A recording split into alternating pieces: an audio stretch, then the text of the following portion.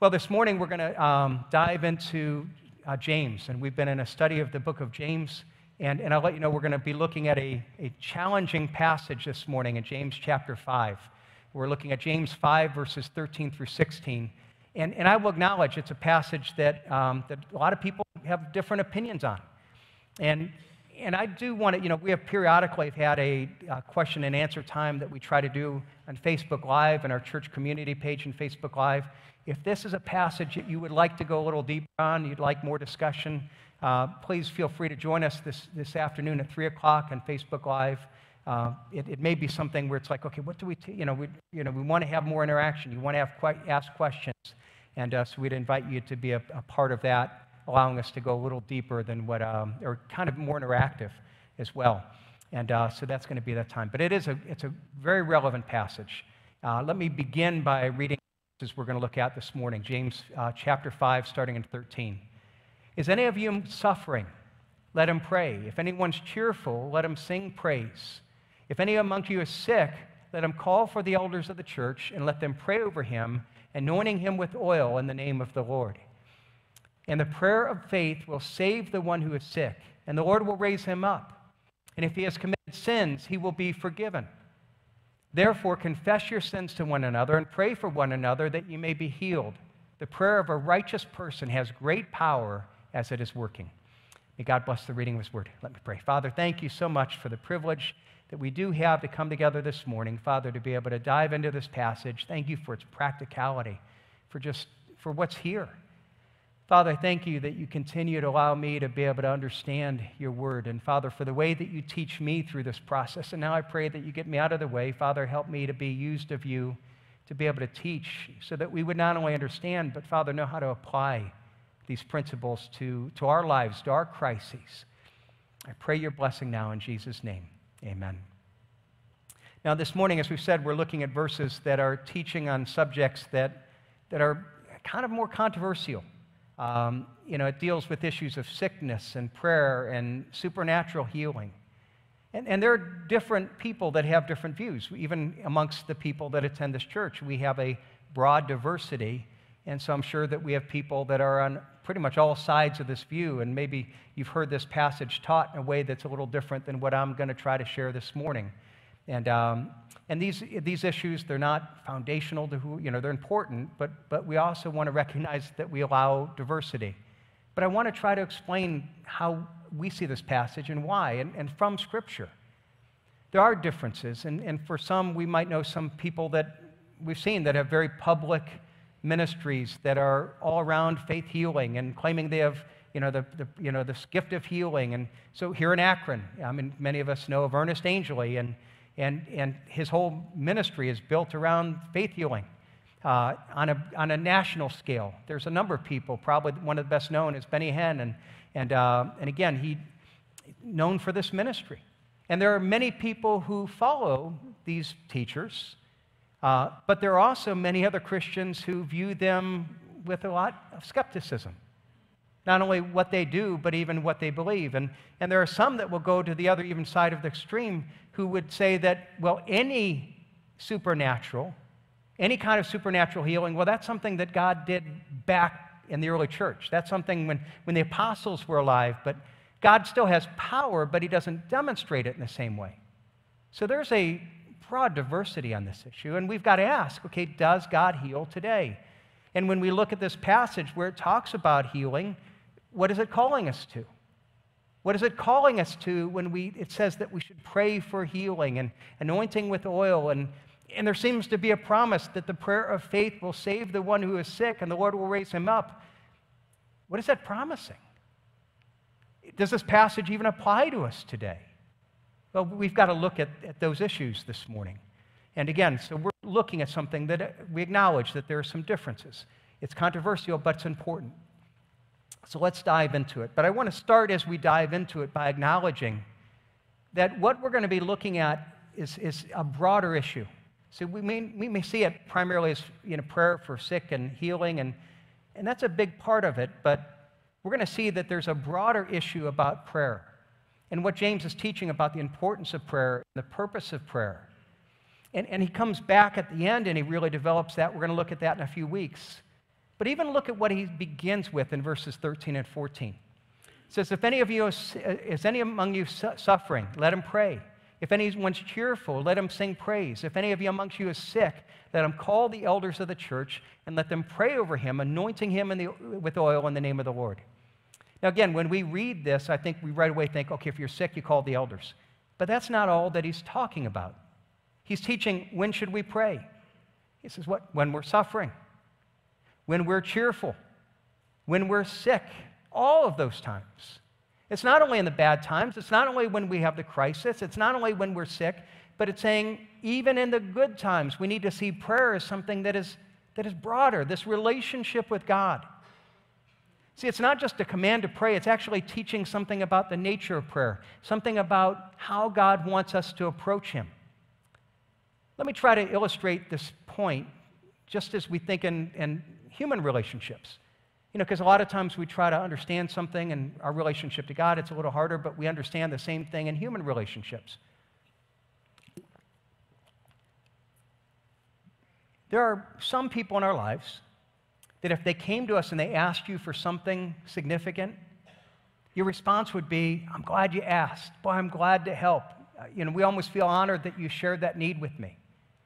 There are other people that if they came with the exact same request, you would feel used. You'd feel frustrated. And why is that? Well, the first group of people are people that you have a relationship with. There are people who want to spend time with you. There are people that pursue that relationship in good times and in bad times. In fact, when things are going well, they'll call you and they'll tell you, hey, there's good stuff that happened. They, they want to tell you those things, they want to rejoice with you. And with the people that have that relationship, when they come to you with a need, you're like, I want to give that need. I want to help meet you. Thanks for asking because I'm giving to you as a, an expression of the relationship that we share. Now, on the other hand, there are people who don't have that relationship and that come to you only when they have a need. You know, when things are going well, when they don't have a need, you don't hear from them. You know, they, you know, there could go months, years that you hear nothing, but as soon as there's a crisis, they're going to call you up and say, hey, can you help me out with this? The only time they ever call you is when they're asking for something. And you look at that and you say, they don't want a relationship. All they want is to use you.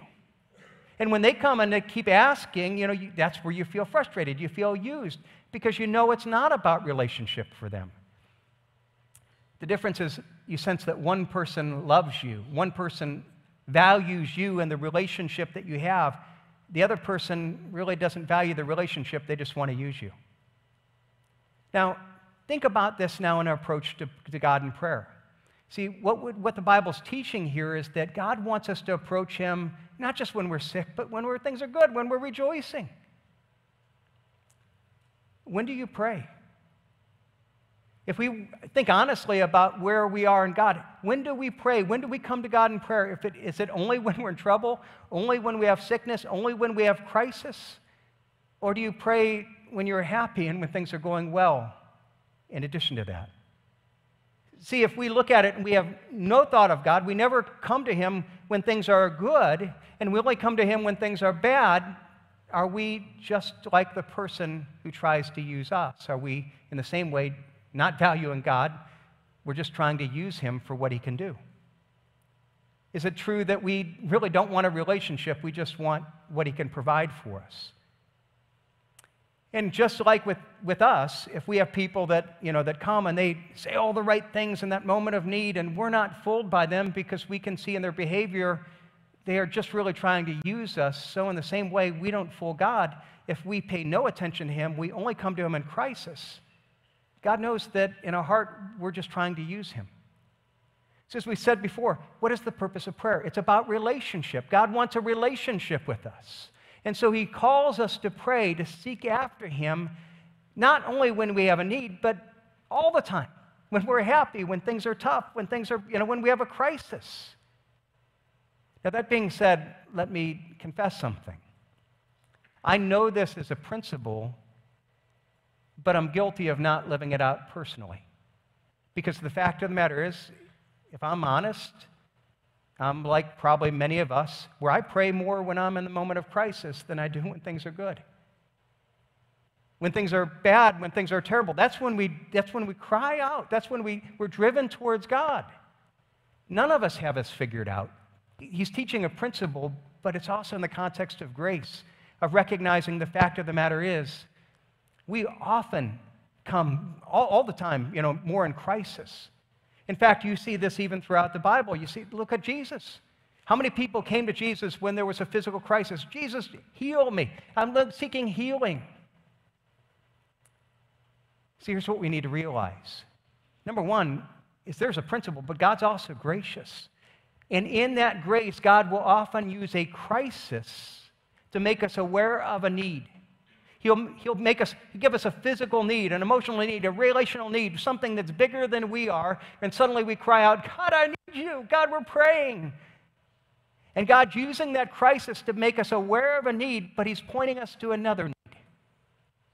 That, that the physical need that we often have is actually more of a symptom of this deeper need. We have this, this spiritual need, this relationship with God. And God's saying, okay, come to me for the help with this, this need that you see, but I'm trying to point to this need behind it, this deeper spiritual need. He's trying to get our attention so that we seek after Him. We recognize we need Him. And in the process that we need, realize not only do we need His healing or do we need His help, but we need His relationship. He's dealing with the crisis, but He's trying to help us realize that out of that physical crisis, we need not only healing, we need, a, we need spiritual healing. So even think about James chapter 1, and in the beginning it talked about trials, and, and the whole idea of trials is what? Trials makes us aware of, of, of our need for faith. We, it grows our faith. God uses these crises for spiritual things. Again, I also mentioned a moment ago that this is about a bigger issue of prayer. And, and a huge part of it is about prayer of healing. And we're going to focus on that this morning. But I also realize that it's, as we're going to see in a couple weeks, that the whole passage really is dealing with prayer in general, crisis. And we, we are in the middle of a, a physical crisis, and we have a disease, and we have concerns, and, but we're in, in, in need of a spiritual crisis as well. Is there any question that our country is really, we're at a place where we need a miracle? And I want to let you know that, that that's the bigger focus here. We're going to come back to this in a couple weeks, and we're going to say, how do we seek God's grace and prayer not only for our physical need, for our, our immediate crisis, for our country. And I'm going to say, how are, you going to, are we going to commit as a church to pray in this time? Because we need prayer, we need God. And I don't want to mention that because just to plant that seed, ask you be thinking about, okay, God, how, do, how am I going to pray? But this morning, let's focus really on these couple verses and, and this idea of, of healing prayer, prayer and sickness. And what I want you to see as we look at this, that it teaches us that in this healing prayer, there's certain elements that it's calling us to, uh, to be, be a part of this prayer. In verse 15, it says it should be a prayer of faith. And in verse 14, it should include anointing with oil. What does that mean? And verse 16, it says it should include the confessions of sin to each other. And how do we understand this? Well, let's look at them one at a time. Verse 15, first of all, what does it say? The prayer of faith will save the one who is sick. Now, what is the prayer of faith? What does that mean? Again, there's different opinions about this, and different people have had different ideas. And, and again, before we really talk about what it means, let me take a moment and say what I think it doesn't mean. I think there are some people that have come to wrong conclusions and have taught wrong things that I think are inconsistent with, with the whole of the Bible. And so let me start by saying a wrong idea of what I, it doesn't mean, that is sometimes there's some confusion. You see, some people teach that the prayer of faith is to have certainty. It's to, in a sense, to have this faith that we work ourselves in this mindset that we have no doubts, that we have total trust, that, if, that basically, God, if I come to you with this total faith, then, then you will work. And uh, if I have any doubts, well, then it's not as much. And that's not what James is saying. And part of that is it even it really goes against the whole nature of prayer because, okay, what differentiates somebody that's healed or not? Well, it's, it's not God, it's my own faith. My faith made the difference. No, that's not, that's not biblical. Um, and it's actually a very dangerous idea because I've dealt with a lot of people. There may be some of you who have been taught this idea, and I've dealt with people who have been taught this idea who are in the middle of a crisis and they're told, if you have enough faith, God will heal you. And then you pray and God doesn't heal. And you know what happens when we've been taught that? Suddenly the person says, well, if I'm not healed, I must have failed. Because it promises if I have enough faith, then God would heal me. So I not only now am dealing with the sickness or the problem of the crisis, but I'm also dealing with the guilt that somehow I failed God because it, my faith isn't enough. So how do I prove it? And, and friends, that's not what the Bible teaches. In fact, there's a great passage in Mark chapter 9 that describes a prayer of faith, and it's something that's radically different than this unquestioning, no doubting perspective. It actually, it's it's a prayer that may include doubts. In Mark chapter 9, there's a story about this dad who comes to Jesus and he asks Jesus to heal his son that's been demon possessed. And, and, and Jesus looks at him and says, Okay, do you have faith? And his response is basically, I don't know. I mean, look at his response, Mark 9. Uh, it says, he says, Immediately the father of the child cried out and said, I believe, help my unbelief. What he's saying is, I believe, I have faith, but I don't. I have a faith, but I have doubts. I have faith, but it's not. It's not without doubts. It's not certain. And you see him coming with this faith that's faith in, in, in big Jesus, but a faith that's weak. And Jesus turns around and says, Your faith is, you know, your, by your faith, he's healed. That's enough. That's, that's saving faith. That's, that's the prayer of faith. It's a prayer of faith that includes doubts. Because our faith, it isn't our bigness of our faith that saves, it's, the, it's a mustard seed faith, a tiny bit of faith in the big God. But faith is something that, that could include doubt, it can include struggle. So then, what is the prayer of faith? The Bible teaches that the prayer of faith is it's an expression of faith in the character of God.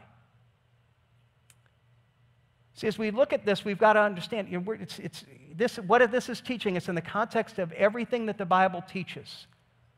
And when you think about faith, it's an expression in the whole character of God. Usually, when people talk about the prayer of faith, they're talking just about faith in God's power. I have faith that God has the power to heal, and if I believe enough that God has the power, then He will. And my friends, true faith in God is not just in his power, but it's in his character, it's in his goodness and his wisdom and, and, and, and who he is. See, this is something that is totally consistent with what James taught earlier in James chapter 1. In James 1, he talked about trials. And he says that we're going to go through periods of trial, tri- times that things go are broken, things that, you know, that we go through crisis in life. Look what he says. James 1, starting in verse 2 Count it all joy, my brothers, when you meet trials of various kinds, for you know that the testing of your faith produces steadfastness. And let steadfastness have its full effect that you may be perfect and complete, not lacking anything. God is growing our faith so that we have a mature faith, but how does He do that?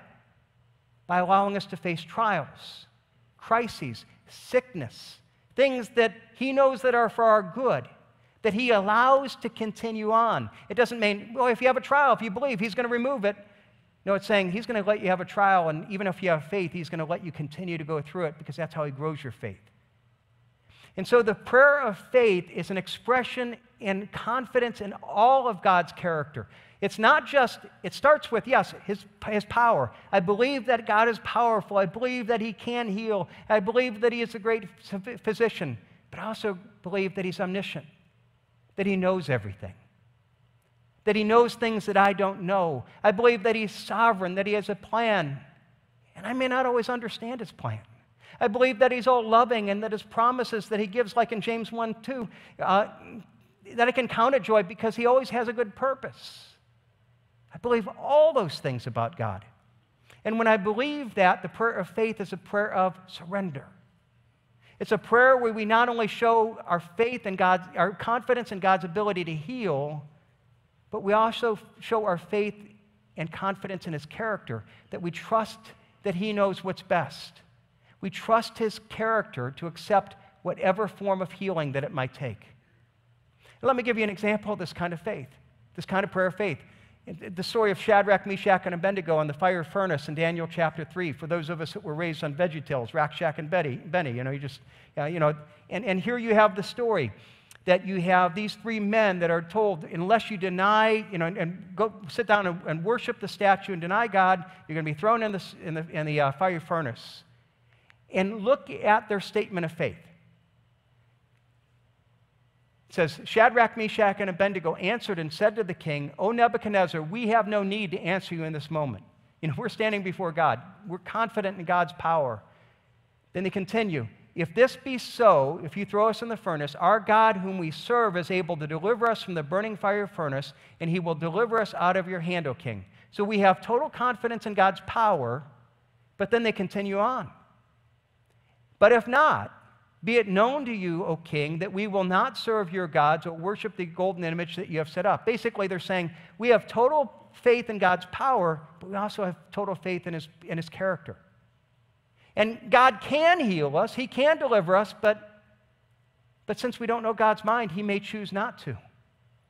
And even if He chooses not to, we're going to believe in God's character. We have the prayer of faith in His character that are going to believe even if He works the way that we hope that he will, or the way, if he doesn't, if he works in a way that we don't understand. See, it's a prayer, prayer of faith and confidence in who God is, in his plan and purpose. The approach for many in faith healing is, is, is basically not only do I have faith in God's power, but I have faith in my knowledge. It's this approach that says, because, I, because God's healing, and I know that God wants to heal me, that, that I'm sure that this is the right plan, and therefore I'm going to claim it, and I'm going to just God, you've got to heal because that's what I know what's right. I want to tell you, there are times that I've been with people that have been sick.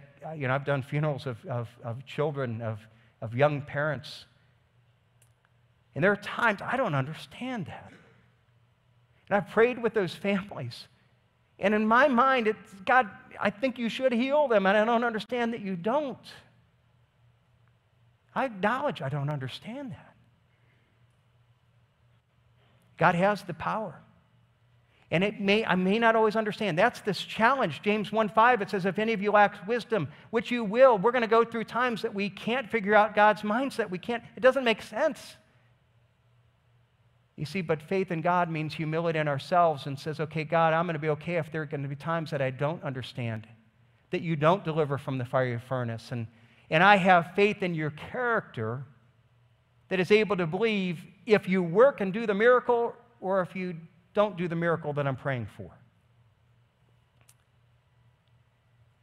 Now, when we do that, we come and we say, okay, the first is a prayer of faith, and, but it's also a prayer of faith that includes the anointing with oil. Look what it says in verse 4, 14.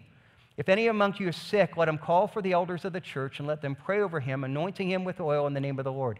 Now, I think there are a couple possible meanings of what this anointing with oil is. One is that it could be medicine, the other is that it's a meaning, it's a symbol of the Holy Spirit. And you ask, well, which one is it? And the answer is yes. Um, yeah, it's, it's, it's, actually, it's both of them. Okay, what is the first? The first is medicine that in that day oil was a common medicine. You think of Luke chapter 10, and you have the parable of the Good Samaritan. And this guy is beat up, and the Samaritan comes and tends his wounds by pouring oil and wine on them. Oil was, was seen as a medicine, it would loosen the wound, clean the wound. The wine was an antiseptic, it was medical. And so I think part of what is being said here is that James is saying is that prayer doesn't necessarily need to replace medical treatment. Some people will say, well, I'm going to pray and I'm not going to go to the doctor because I need to prove that I'm relying on God. My friends, that God heals. And sometimes He heals through medicine, sometimes He heals apart from medicine. But I don't think that He's called us to seek in prayer and to avoid medical treatment, not at all. That, that I think that is totally consistent for us seeking God's healing at the same time to to, to seek what medical treatment is allowed. God has ordained and, and created medicine. Um, medical arts are a gift of God, and God uses that. But at the same time, you know, grace isn't replacing nature, but at the same time, we recognize that we need more than medicine. We need more than medical treatment. The doctors don't know everything, the medicines don't work all the time.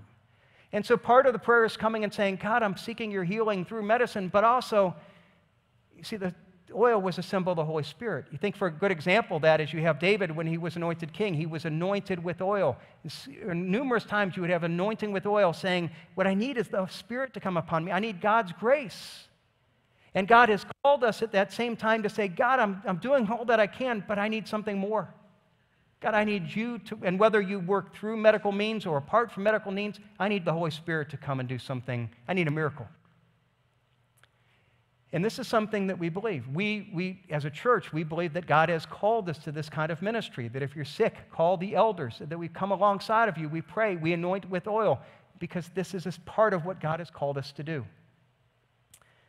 So it's not only this anointing with oil, but it's also then the, also the confession of sins. Look at verse 15 and 16. It says, And the prayer of faith will save the one who is sick, and the Lord will raise him up. And if he has committed sins, he will be forgiven. Therefore, confess your sins to one another and pray for one another that you may be healed. Now we have to ask okay, what is he saying here? He's talking about this personal confession of known sins. Now, again, there are some wrong ideas here. Some people take this to mean that if you're sick, it's because you have sin.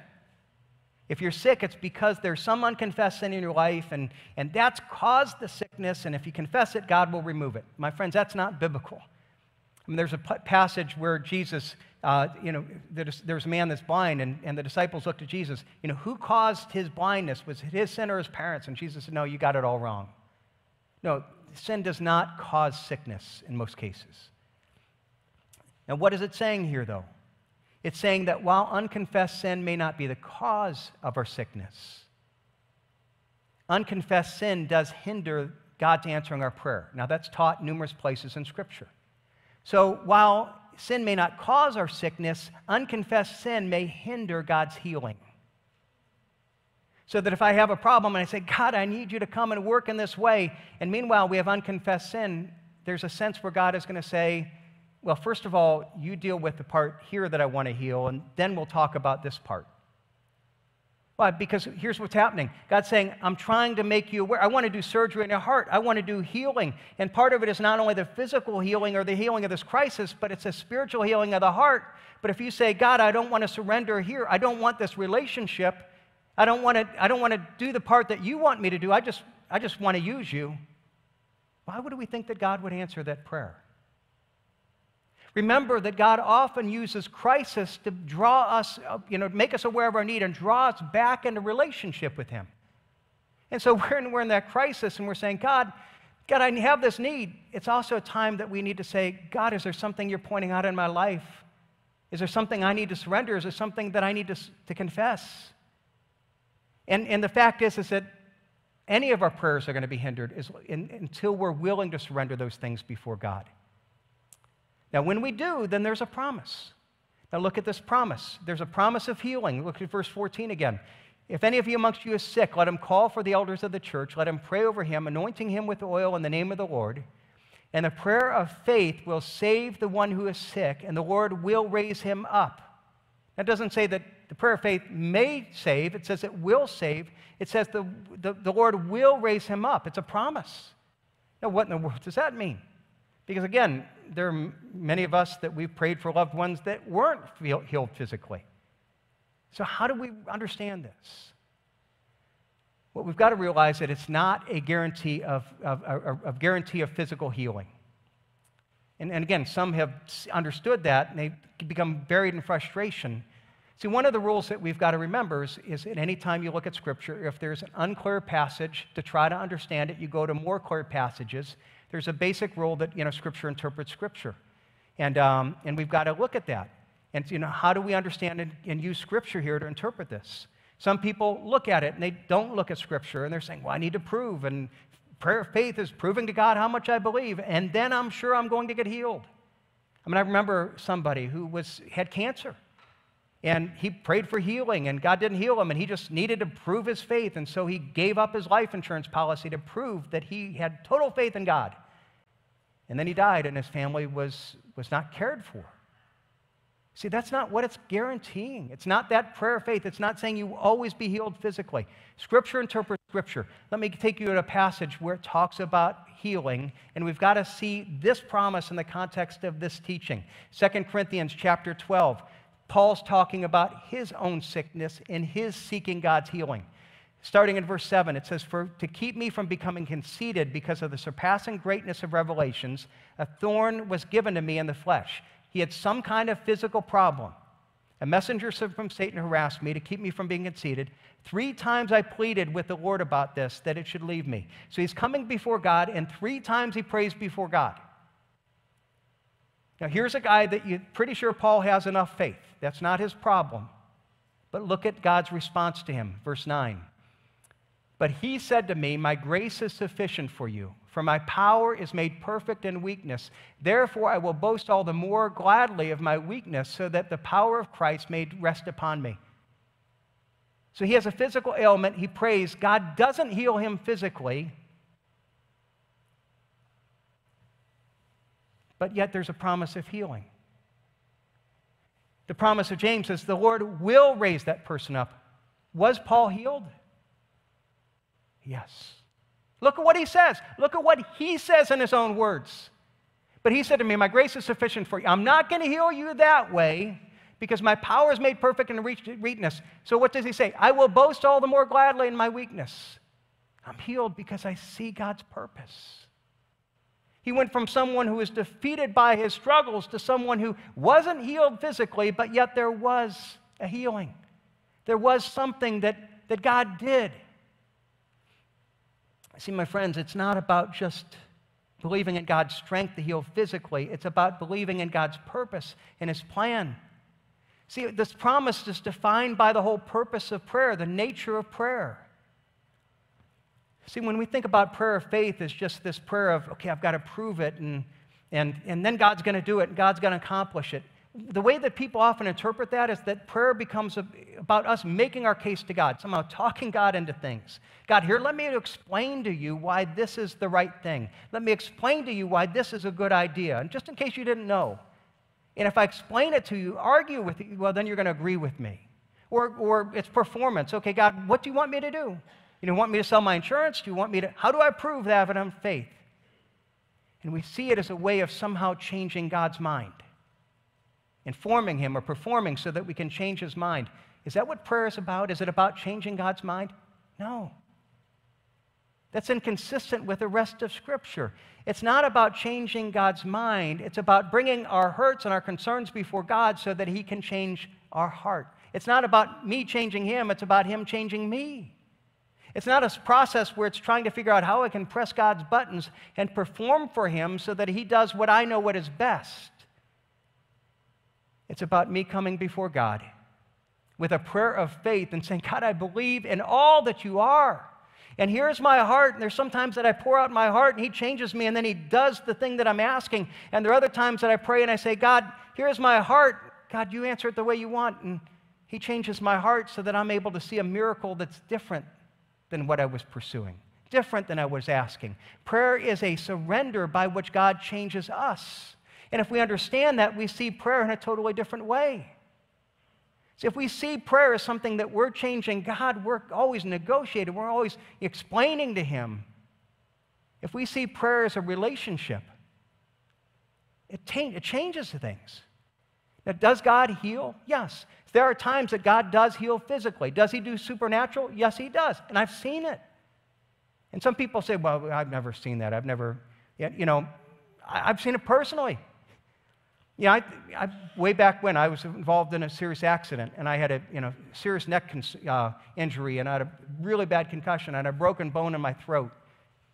And because of the broken bone, even I was in the hospital and, and I, I couldn't eat. Everything had to be sent through the blender. And, but they couldn't operate on me because my concussion was so bad. And I had some people that came and supported and were praying with me. And well, then a couple days later, they go to do the operation on my, on my throat and they do a final x-ray to make sure and they're like they come back and they're like here's we don't know what happened there's no break in the bone anymore and, and suddenly you know they have the two x-rays and here's one it's clearly broken the other one isn't broken they're like ah, we don't know what happened we can't explain it now that's a miracle god did a healing in that broken bone at the same point i still had the concussion and the neck problems that took me months to recover from now why did god heal one and he didn't heal the other i don't know I've been with people that they've had cancer and then they go back and they, you know, they take, they take a last scan and it's like, man, we see, we see the indent where the cancer used to be. God heals. But I've been with other people where God hasn't healed physically. And I, we prayed for him and he doesn't. And I don't know why. But God does heal. But the healing isn't always going to be physical. Part of that is coming and saying, God, I'm willing to come and take, to surrender to faith I think a great example of that is a guy down in, in our church in, in, in, South Carolina. This guy had a stroke, and we prayed for him he, he, feel, physical healing, and, and it didn't happen. It didn't happen. And this guy had been somebody that had been very much a, uh, uh, you know, his, his family were believers, and he was very skeptical. But I remember the day that we were there in service, he started coming to church, you know, and he could barely, talk, you know, couldn't walk, he could barely talk. And I remember the day, you know, we're finishing up, and, and, and he's in his wheelchair right up in the front of the church, and he starts waving me over with his hand. He can't move that well. And, and I come over, and I said, Bill, what's, and he, and he said, I want, I want. And I said, what? And he grabs my shirt, and he pulls me. He said, I want, I want. So you want to accept Christ? Yes, you know, and, and he accepted Christ. And here's a guy that in the years that I saw him after that, that he wasn't healed physically. He had far more joy than he ever had than when he was total physical. Why? Because God healed. God did a miracle. It wasn't physical, but God did a miracle.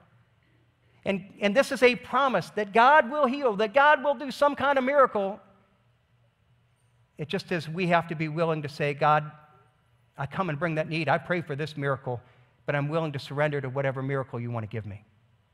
See, it's a prayer of faith. What is God calling us to do to practically? To bring our need to God with a prayer of faith. What does it say? If any of you amongst you sick, let him call the elders of the church. Let him pray over them, anointing him with oil in the name of the Lord. And what is it saying? First of all, if you're sick, if you have it's physical problem, any kind of problem, you need to call us. If we do this, it is a joy and privilege for us to be able to meet with people and pray and anoint with oil. But, but you need to call us and say, Would you come and pray for us? You have to initiate it. That's what it's saying. You call the elders. And please do that. The more that we do that, the happier we're going And we really love doing this as elders.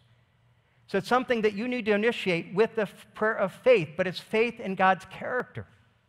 Where we come and we bring the concern and need that we have. We pray for physical healing, but at the same point, we pray with confidence that there's going to be a miracle, and Lord, help us to accept whatever form that miracle takes.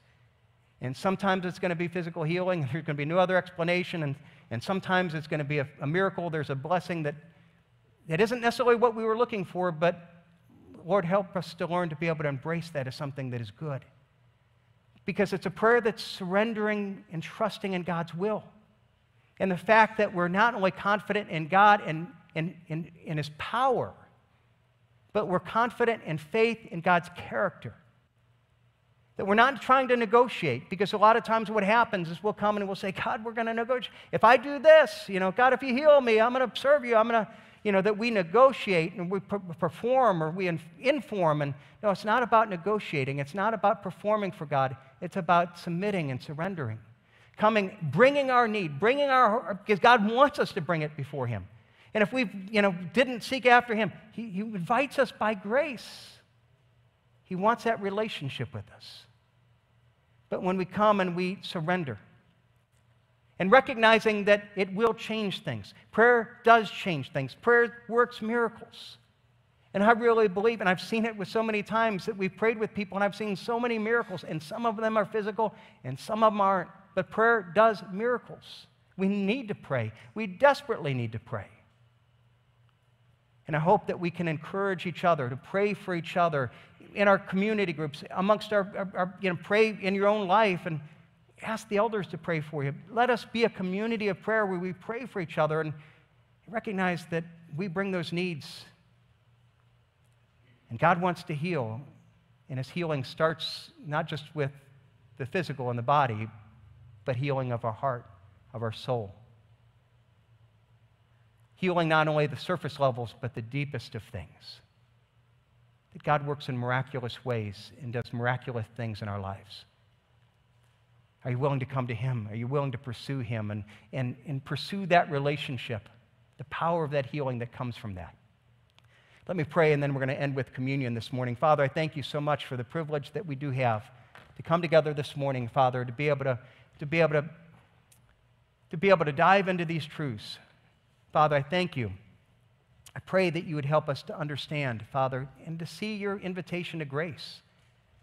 Father, I thank you for the opportunity we have, even this morning, to recognize that it's not about performing, it's about accepting what you have done for us. And that's symbolized by, by this, by the cross, by communion. Father, we thank you. We pray your blessing now in Jesus' name. Amen.